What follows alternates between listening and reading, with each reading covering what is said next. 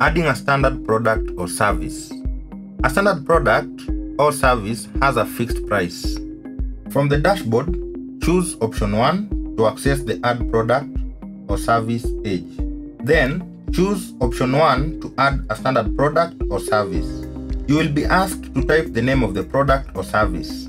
I'm going to add peanut 400 grams for demonstration purposes.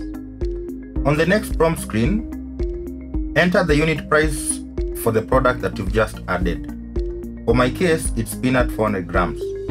If I'm selling peanut 400 grams at 275 shillings per piece, then that is my unit price.